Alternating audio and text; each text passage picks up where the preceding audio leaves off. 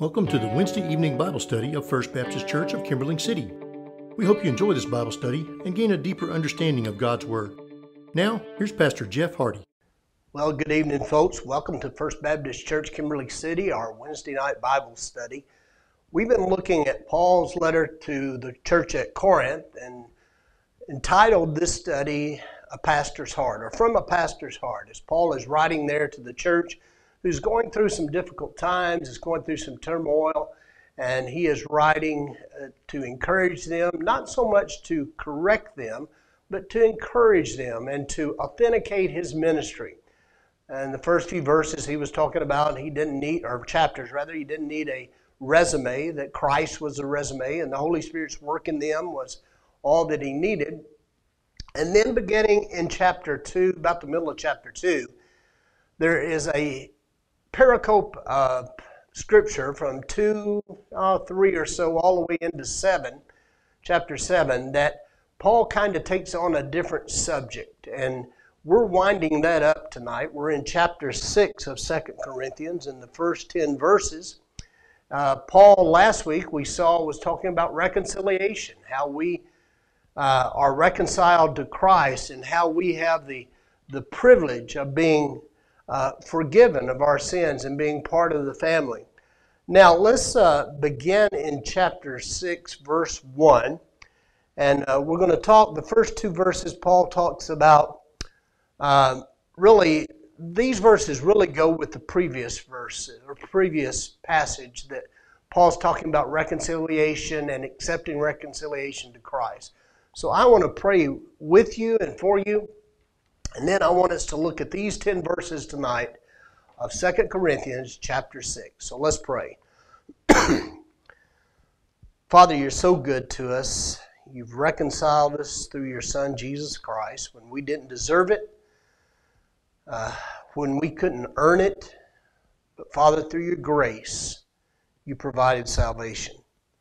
Lord, I thank you for that and how it's available to all. And like Paul, he said that is what um, motivates me to continue to share the gospel. Lord, give me that heart. Give me that zeal that Paul had that could withstand several uh, instances in his life that many of us would have quit.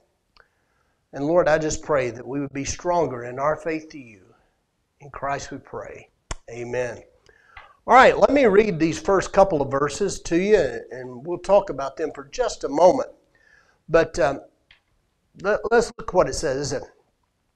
We then, as workers together with him, also plead with you not to receive the grace of God in vain. In other words, don't hear the gospel message and don't respond. He's saying, don't let it be in vain. Make it have purpose in your life. Make it mean, uh, do something with it. Let it uh, drive you to respond. And Paul's asking them, do not let the grace of God um, be received in vain. He says, In an acceptable time I have heard you, and in the day of salvation I have helped you. Behold, now is the accepted time, and behold, now is the day of salvation. Paul said this is upon us, the day of salvation, the opportunity. Uh, when the gospel is shared, that is the day of salvation. That is the prime time for an individual to come to know Christ. I I hear folks say sometimes, well, I'm just searching. And, and when I find what I'm looking for, I'll, I'll make that decision then. Folks, that's not what Paul is talking about. Paul is saying when you hear the gospel message and the Holy Spirit begins to convict you of lostness or, or being unreconciled with God, it is time to respond. And, and make no doubts about it, no response is, is a response. A no response is the same as rejection. So Paul's telling us today is the day of salvation. Don't let it be in vain. Make it worth something.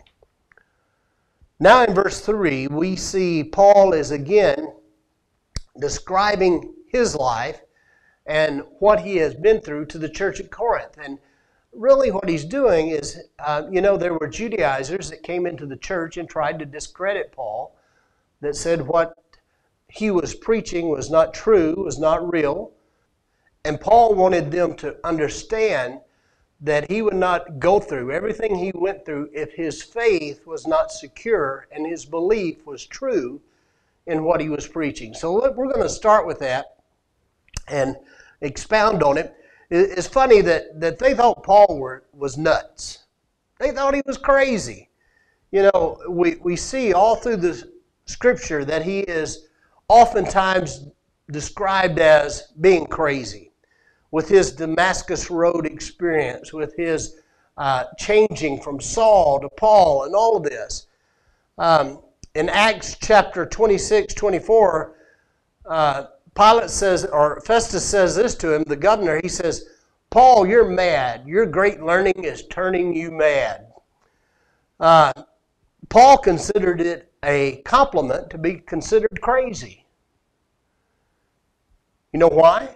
Because Jesus, in Matthew 12 46, it says, He is beside himself. He's crazy, referring to Jesus. Paul thought that, or Paul took that that was a compliment. He was all in, folks. He was nuts about Christ. Uh, people say, well, you're nuts. Hey, our response is yes, but we're screwed on the right bolt, and that is Jesus Christ.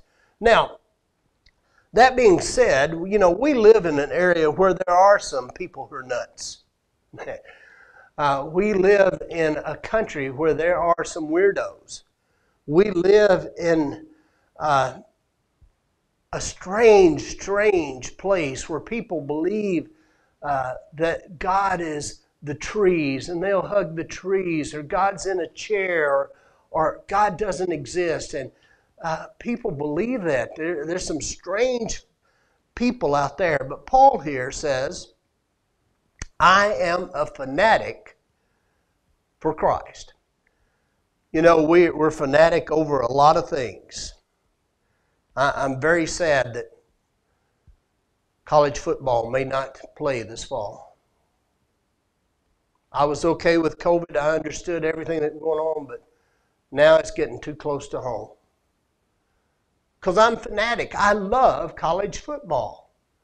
Uh, I love to talk about it, but boy, I love to watch it, and I even love more to be there in present when it's happening. You know, Paul, while he may have been considered a fanatic, also knew what he was fanatical about. Charles Spurgeon said one time, he said uh, uh, about Paul, he said, if Paul was crazy, would that every man in London would be that crazy. He goes on to say that, that every one of us ought to be fanatic. This is Spurgeon speaking. Every one of us should be fanatical about Jesus as Paul was. So that being said, let's, let's look at verse 3. And Paul begins by showing how careful he is before men. Paul wanted nothing in his life to take away from his testimony and most of all, his uh, Savior. He didn't want anyone to have uh, the opportunity to criticize his testimony of what Jesus has done in life. Listen, verse 3 we give no offense in anything that our ministry may not be blamed. We give no offense in anything. And he's talking about in his ministry, he is careful not to give any offense, let anyone be offended by what he's doing. Now, he's not talking about the gospel message, he's talking about his life, his lifestyle. Paul went to extremes not to taint or damage his character of being changed in Jesus Christ. We give no offense offense in anything. You know, it's very important that you and I have the awareness of what others perceive. You know, anything in our life that causes others to stumble from receiving, now remember, this is on reconciliation, from receiving the gospel message from responding to it in a positive way, if there's anything in our life that causes someone to do that, then we must take inventory of what we're doing. You know, Paul had people accuse him of being a deceiver, of being a phony, of being a false gospel, preaching a false gospel, being prideful, ambitious. Uh, people are always going to assume those things and find those, but Paul says every one of those is false. We have took great care that our message and our lifestyle supports our message. We are changed. You know, this uh, made me think of the old uh, adage what, and the question throughout time what about drinking, Pastor? Is it all right for me to drink alcohol? Is it okay for me to have a glass of wine with dinner? Is it okay for me this or for me to do that or for me to go here or there? You know, the Bible says that when we become a child of God, we are free. Nothing we do for us can counteract what Christ has done in us. But our lifestyle should should support or authenticate the change we're telling people we've experienced. Let me, let me put it this way.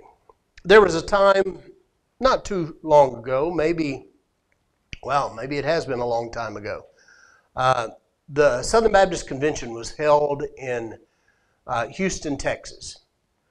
We were there. We were going after the sessions. There was a, about a three hour break, and we were going around Houston, finding something there close to uh, where the convention center was. We were looking for something to eat, as was maybe 12,000 other folks at the convention. and we went into a little side restaurant there on one of the streets. And I walked in and I saw some folks that I knew were from one of the Southern Baptist seminaries. I, I knew them, I recognized them. And we went by, I spoke, and they spoke. We went on to our seats, sat down. And when we sat down, I had an individual with me who was new in the faith. He said, Pastor, they've got a beer bottle on their table. They're drinking beer. And I said, Yeah, they, they are. Well, Pastor, that, that I thought we couldn't drink beer. And it threw this young believer into a tailspin because he had been raised uh, uh, through the church that no, no, no, no, no. And now he saw these believers, and they were, drinking beer at, at their dinner table. And then we went into a discussion. I said, you know, they're free to do that if they want to do that. However, if it causes someone to stumble, which it is you, they should be concerned and not do that. I had somebody say once, I heard Johnny Hunt say, that's who it was. He said, You know, people ask me about drinking, and I, I tell them that, you know, I could drink all I want to. I just don't want to because I don't want anything in my life to taint the testimony of what Christ has done and cause someone else to stumble. That's what Paul's saying. If you look at Paul's missionary tactics as he was going throughout Asia Minor, you see that Paul would go to, he didn't go in and just bash the synagogue. He went to the synagogue on the Sabbath day. And he sat there and he listened. As was custom, at the end of the service, they would say, Does anyone have anything to say? And when they would say that, Paul would stand up and said, Yes, I do. And he began to tell his Damascus Road experience. And you know what? Some followed Paul, some didn't. But Paul was very careful not to offend people by not attending on the Sabbath day when he was trying to plant churches throughout the country. So when he says we give no offense in anything, what he is saying is we have went to the extremes not to cause someone to question my ministry. Now, unfortunately, that doesn't always happen. Sometimes Christians do crazy things. I know uh, my seminary alma mater, the president of the seminary of the whole university, made a dumb, dumb move. And forgive me, but that's just what it was. It was dumb. He allowed pictures to be taken of himself in a provocative position on a boat at a party. And those pictures now, in the day and age we live in, you know, if, if there's ever a photo taken, it lasts forever. That photo's surfaced. And I think he is a good man. I think he is a Christian man. But I also think he has eliminated himself from leading others at that university. Why? Because there will always be somebody in the wings say, hey, do you remember this? So Paul goes to, to extremes to tell us that there be no offense, nothing in our lifestyle that causes the gospel ministry to be hindered. Okay?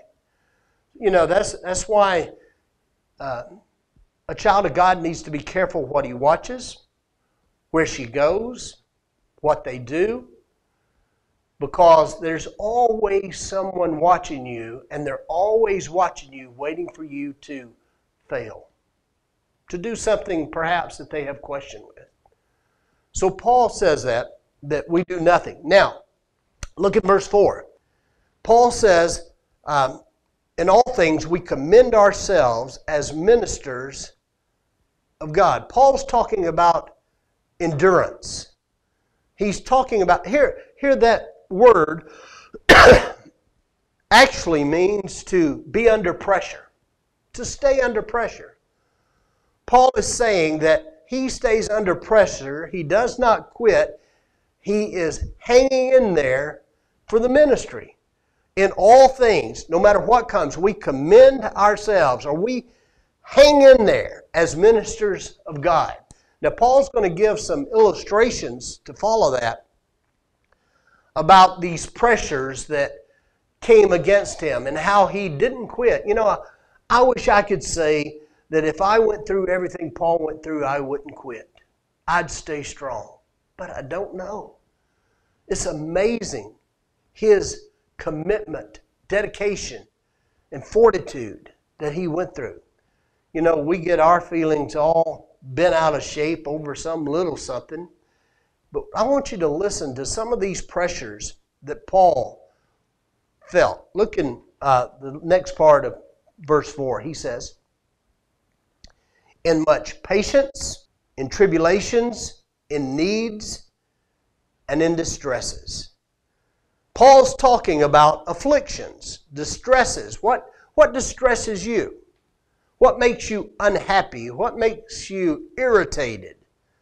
That's what Paul's talking about. These can be problems. They can be financial. They can be um, relationship. They can be disappointments. They can be physical illness, whatever it is. These are hardships that we face. Every person faces these hardships.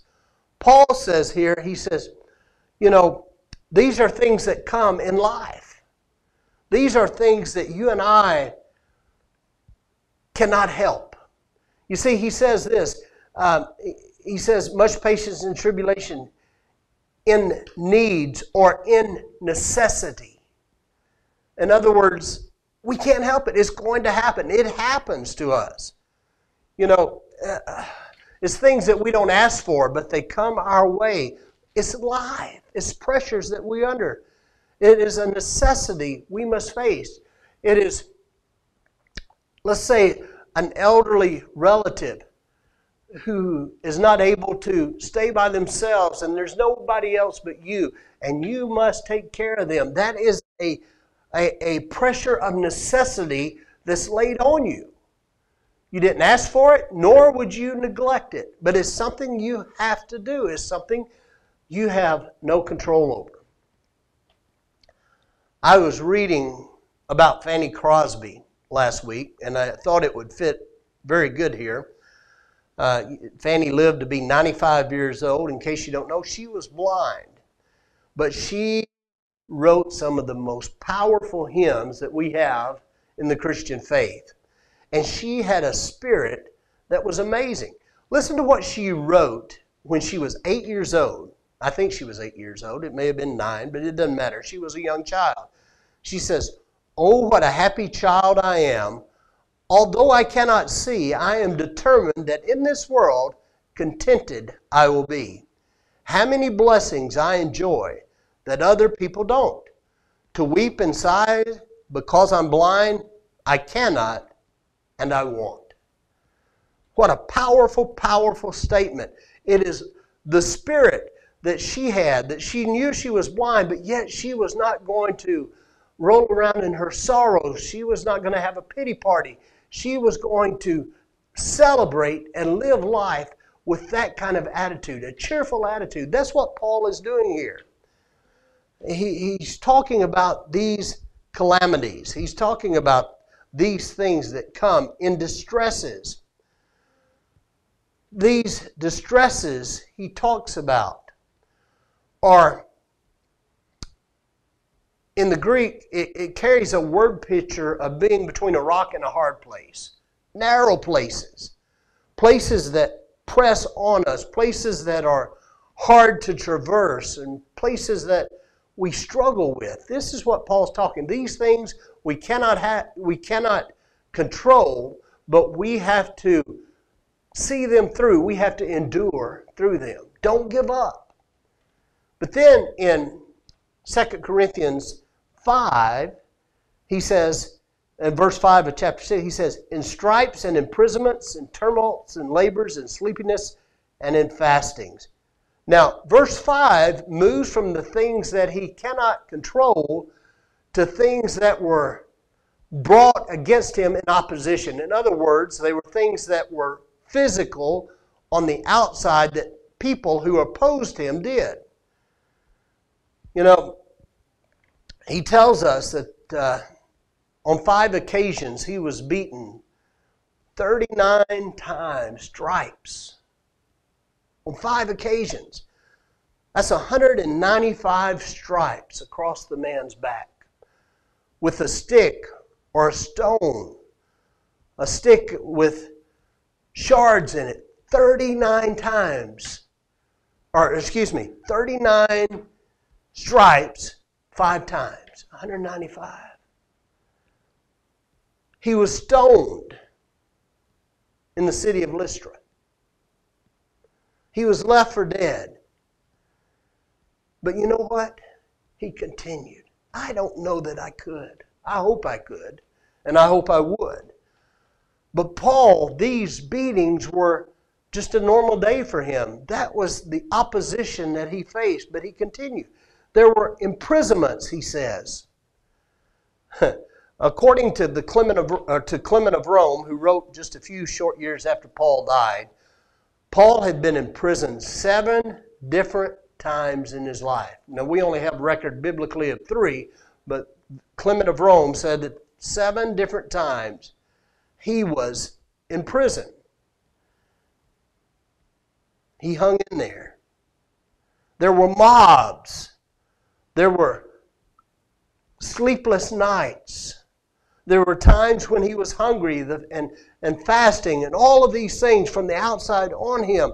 But the key that Paul's trying to say that in all of these things, he didn't, he didn't quit. And the reason he didn't quit because he knew the gospel was real. He knew it was different. Now, how did he make it through this? Well, verse 6 tells us by purity, by knowledge, by long suffering, by kindness, by the Holy Spirit, by sincere love. These are things which Paul talks about of how he got through. And there are two divisions here. Um, the first four are qualities of Paul's life, the purity. Look at this. He gets through these things by purity. The first thing on his life is to remain pure, to remain honest. He lived in an immoral immoral time. Sexual immorality was rampant. Uh, stealing, theft, deceit, all these things were impossible. But he said, I strived in purity by knowledge. What does he mean by knowledge? He means a renewing of his mind. Each day he allowed his mind to be renewed, as in Romans 15, or excuse me, 12. Uh, the renewing of the mind. Paul maintained the knowledge of the Holy Spirit. He says by long suffering or forbearance. Paul had patience with people. Paul exercised long suffering. He was willing to give people not just a second chance, but a third and fourth chance. Uh, an evangelist said this He said, There are a lot of people who I know are wonderful Christians, and I know they're going to heaven someday. I just wish they'd hurry up. That's kind of our attitude with folks like that, isn't it? Sometimes we get that way. But Paul, he faced people that were in opposition to him, that was a burden to him, yet Paul was long suffering toward him. Then he says there's kindness. Uh, that just simply means he was courteous, he was warm, he was cordial to him. He was willing to bury the hatchet if that's what was, but he would never um, deliberately instigate an attitude of refusal towards somebody. He received everyone. He said he did this by the Holy Spirit. Now,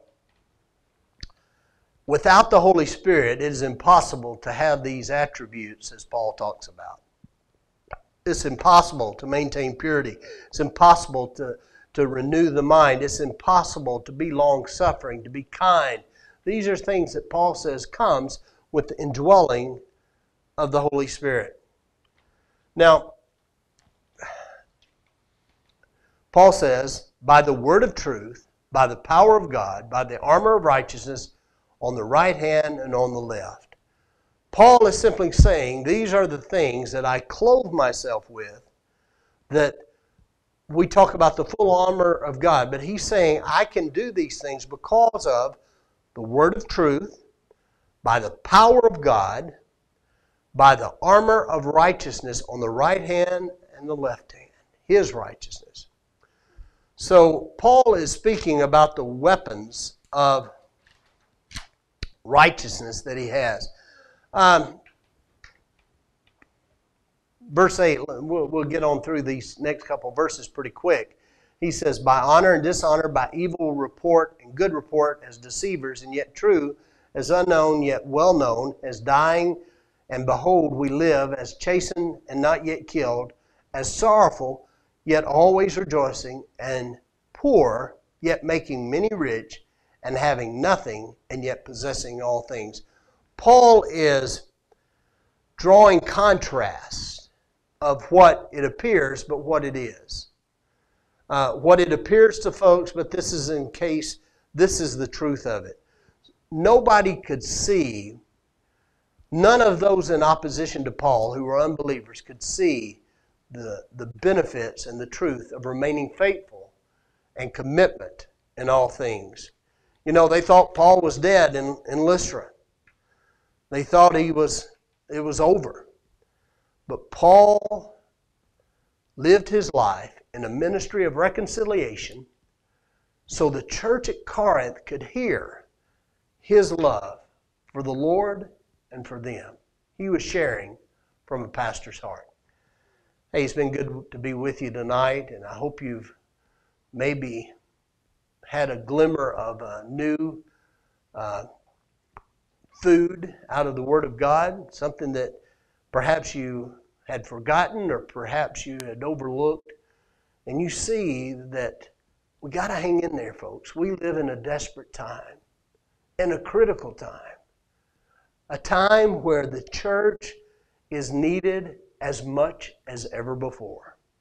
And by the church, I'm saying you and I, believers in Christ. We've got to put, put aside our differences, put aside our petty griefs, our offenses, and we must glory in the Lord Jesus. Hey, may God bless you, may He be with you. Hope we see you this Sunday at First Baptist Church, life groups at 9 o'clock, and then worship at 10. But until then, may God shine His face upon you in Christ. Amen. Thank you for joining our weekly Bible study. Remember to tap like and share to help spread God's Word. If you have any questions about this study or about our church, please contact us through social media or through our website at fbckc.com. God bless you and have a good night.